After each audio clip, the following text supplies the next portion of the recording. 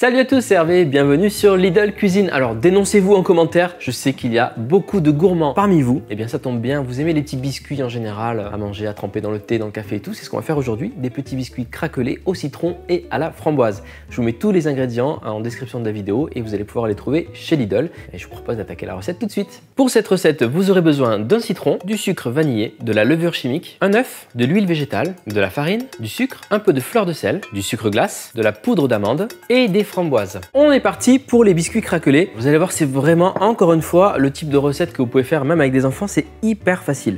On va commencer par casser un œuf dans un bol. Hop, on ajoute le sucre et on commence à fouetter tranquillement. Il faut que le sucre fonde. Donc pour cette recette, deux sortes de sucre sont nécessaires. Du sucre blond ou du sucre blanc, hein, classique pour la base, et du sucre glace. C'est ce qui va faire les jolies craquelures sur le gâteau. le four est en train de préchauffer à 180 degrés. Ça va vraiment vite cette recette. J'ajoute l'huile. J'ai pris de l'huile de tournesol aujourd'hui. L'huile d'arachide, ça marche. Pépins de raisin aussi. On peut oser le faire avec de l'huile d'olive. Huile d'olive, citron et framboise. Ça fonctionne. Ça donnera un petit goût méditerranéen. C'est sympa aussi. Regardez la préparation. On fait pas beaucoup rentrer d'air dans cette préparation. Hein. On va ajouter le zeste du citron. Donc prenez un citron non traité, vous le rincez, vous le séchez et on y va. Alors là, c'est vous qui dosez la quantité de citron que vous souhaitez. Et sachez que vous pouvez le faire aussi avec euh, d'autres agrumes, type euh, orange, ça marche bien. Citron vert aussi, vous pouvez mélanger. Si vous préférez faire des crinkles ou donc biscuits craquelés au chocolat, eh bien vous zappez la partie citron et vous ajoutez simplement une cuillère à soupe de cacao en poudre non sucrée, chocolat framboise. Je ne sais pas si vous êtes fan, dites-moi en commentaire si vous aimez bien l'association chocolat fruits rouges. Ça pourra me donner des idées pour euh, des prochaines recettes à vous proposer sur Lidl Cuisine. Ça me va bien en termes de zeste de citron. On va pouvoir ajouter tranquillement les ingrédients secs à présent. On a eh, du sucre vanillé, de la levure chimique, un demi-sachet de levure chimique. Je vais l'ajouter tout de suite. C'est important la levure chimique dans cette recette puisque ça va faire lever vos biscuits et créer les craquelures. Hein. Je passe avec la spatule pour mélanger ça. On ajoute la farine, et la poudre d'amande également. Ça, c'est vraiment un petit biscuit que j'adore faire pour euh, le petit-déj ou pour le thé. Un peu de fleur de sel, c'est top. Et on mélange bien jusqu'à l'obtention d'une pâte euh, homogène. On obtient une pâte à biscuit qui est assez compacte, c'est parfait. Et on va pouvoir former nos biscuits sur une plaque de cuisson. On ajoutera les framboises et le sucre glace, vous allez voir ça tout de suite. Les framboises, je vais les couper en deux. On a la pâte qui est juste ici.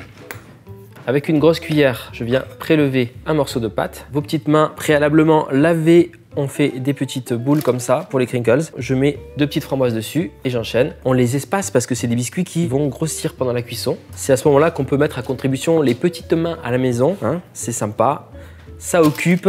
Comme ça, tout le monde peut participer. On va mettre les demi-framboises à chaque fois sur les biscuits, comme ça. On va ajouter le sucre glace, hein, comme je vous disais.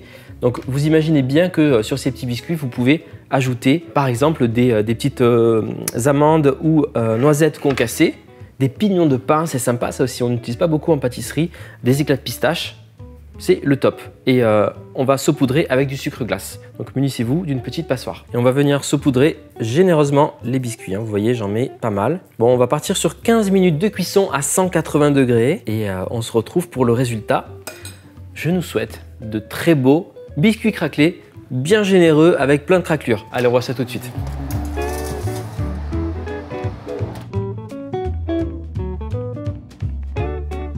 Les biscuits craquelés sont prêts. Alors quand vous les sortez du four, ils sont un petit peu bombés.